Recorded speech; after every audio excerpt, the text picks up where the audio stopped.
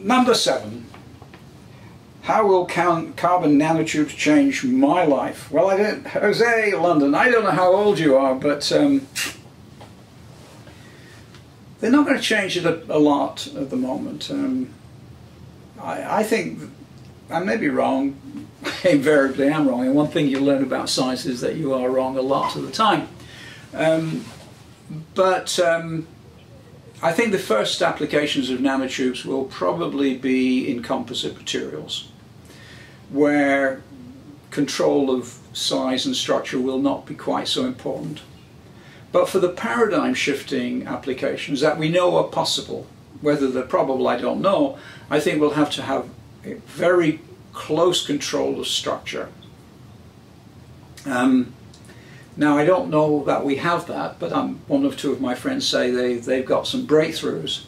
If you've got very good control of structure and they're all the same, then you get a coordinated um, effect. Um, imagine you have a bunch of straws in a box and you open the box up and you see that hexagonal packing of the ends of the straw and you put very very weak glue on the, each straw then you, you stick them all carefully together you have an incredibly strong material not only that what um, really restricts the application of many materials are defects.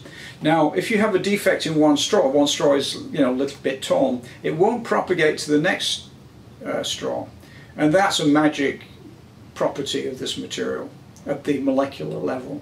I have trees have that. I mean, the tree is striated. I mean, they're they're weak this way, but they're very strong that way. So we should be able to make perhaps the most amazing material ever made if we can control the synthesis of carbon nanotubes very closely and make them very long. At the moment we can make a bundle of 100, maybe um, a few microns long, but we need to make them yards long and in bundles of 10 to the 15. That's a, uh, say what is 10, 10 to 15, a hundred, a thousand million, million, something like this in a bundle and they will have van der Waals forces holding them together. So that could be um, a, a, massive breakthrough, and that would change our lives because we'd be able to build bridges so so strong they won't fall down in earthquakes, and um, uh, aeroplanes so light that they won't uh, they glide if the engines fail. Um, we could probably make a car that um, when you crash it won't break up. It would be so strong and light and uh, that would be good especially as you come into actually you could you could take this car and be so light that when you come to a crossing um, you wouldn't need red lights because you'd be radio controlled and they would go down and you'd go over the top and if you hit they'd be like the bumper cars at the at the fair. That'd be good.